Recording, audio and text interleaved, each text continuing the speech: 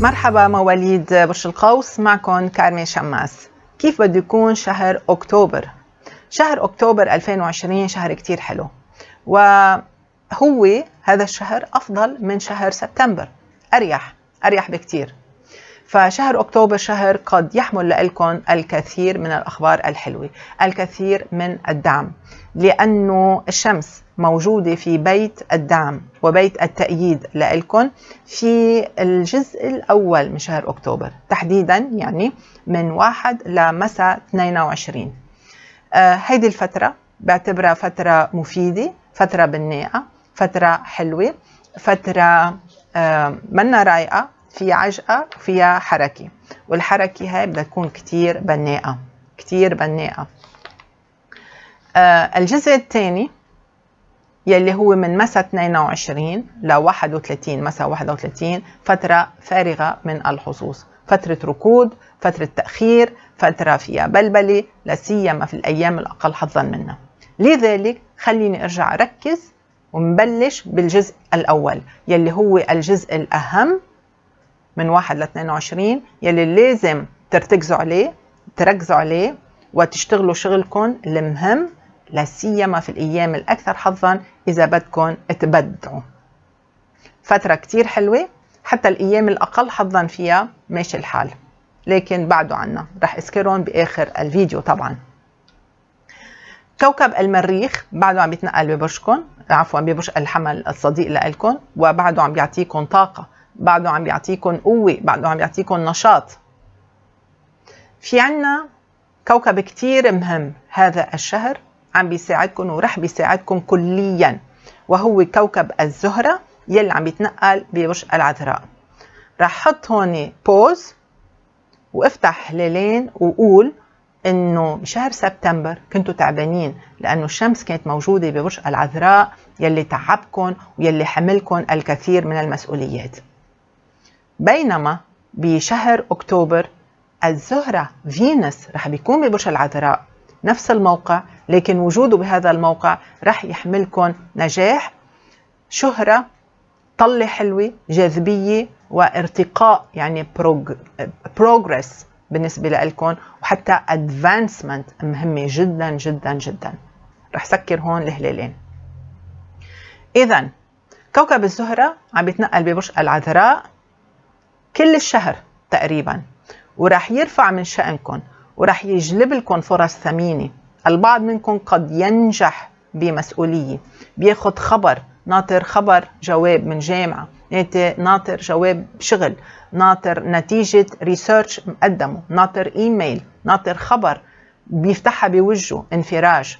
مهني عم بحكي على نطاق كبير.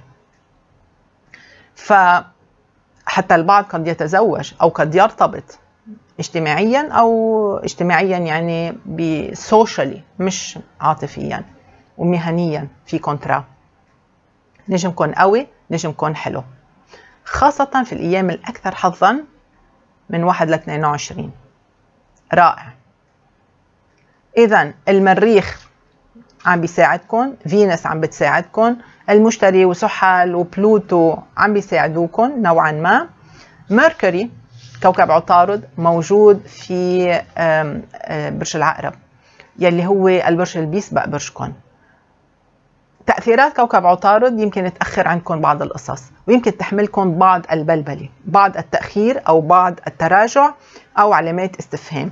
فبدكم تكونوا كتير حذرين لا سيما في النصف الثاني من تاريخ 14 ل 31 أكتوبر وتحديدا من 23 ل 31 أكتوبر. okay في تواريخ فيكم ترجعوا تسمعوا آه الفيديو وتاخذوا note. اذا لحد هلأ مثل ما شايفين معي فترة كتير حلوة الجزء الأول من أكتوبر. عندنا قمرين خلال هالفترة. القمر الأول هو full في برج الحمل. قمر بدر full في برج الحمل البيت الخامس بيت الحب وبيت الإنجازات وبيت النشاطات وبيت اكتمال الأمور والطموحات والأمور العاطفية الأولاد وكل إبداع معقول يكون. من أهم الأقمار أطوار القمر اللي هو القمر الفول مون هو هذا القمر. إن كان زواج إن كان حب إن كان اكتمال لقصة. طبخة. كنتوا عم تطبخ تطبخوها؟ تستوي. شو ما كان نوع. على مختلف الأصعدة. هيدا حظ لإلكن. حظ نوعية وقت حلوة كتير. مواليد برج القوس. أنتم محظوظين تحت تأثير هذا القمر. تأثيراته أكثر شيء بتكون حواليه كل شيء والقمر موجود ببرج الحمل. بدكم تتابعوا الأبراج الأسبوعية. بدكم آه تتابعوا الأبراج اليومية. أكيد. لكن ما حدا بيقدر عليكم فترة ممتازة جدا. أضف إلى ذلك أنه خلال فترة وجود القمر اكتمال القمر بتاريخ واحد في برج الحمل صديق لإلكم في عندك كوكب الزهرة بآخر درجات برج برج الأسد الصديق لإلكم أيضا الناري.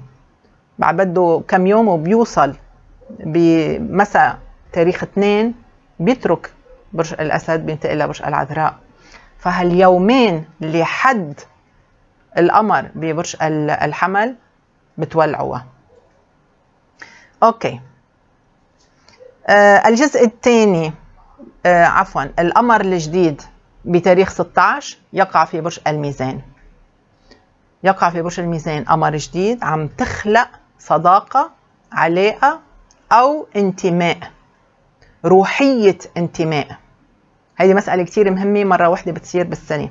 فتبقوا تذكروا وشوفوا شو اللي عم بيخلق شو هن الصدف اللي عم بتصير بهداك التاريخ حوالي آه، كل شيء والقمر موجود بورش الميزان. شو عم بيصير؟ وتابعوا تابعوا تطورات هالقمر. هل يا ترى تعرفتوا على حدا هل يا ترى حبيتوا تدخلوا تعلنوا؟ انتمائكم لشيء هل تطورت هالقصة؟ تابعوها.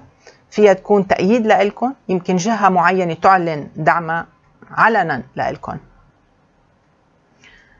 الجزء الثاني من شهر أك... شهر أكتوبر من مساء 22 لمساء 31 القمر ببرج العقرب وهي فترة دقيقة فترة فارغة من الحظوظ وفترة لازم تخلوها ل آه، الريفيجن لترجعوا تقروا تظبطوا لكن بتختموا الشهر بالجزء الأول. هاي نصيحتي لكم آه رح يمرق يوم أو يومين حلوين بالجزء الثاني فيكم تستفيدوا منه لكن بقية الأيام بتكون صعبة. مواليد برج القوس الأنشط بسبب تأثيرات كوكب المريخ هي مواليد 8 ل 18 ديسمبر لا سيما الأيام الأكثر حظا. يلي رح نسمعهم خلونا نشوف الأيام الأكثر حظا. تاريخ 1 2 و3 حتى الساعة 3 بعد الظهر توقيت العالمي.